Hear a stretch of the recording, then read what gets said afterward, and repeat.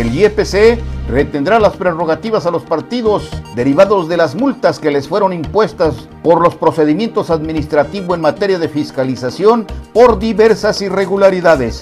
El partido que recibió la mayor multa fue el Partido Verde, con 11 millones de pesos, o sea, casi la mitad de todo el total. El resto se lo dividieron los demás partidos nacionales y locales.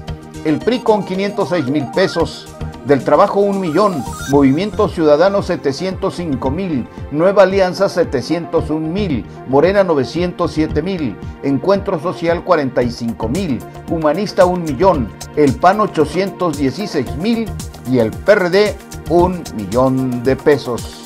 Soy Daniel Flores Meneses y esta fue mi crónica.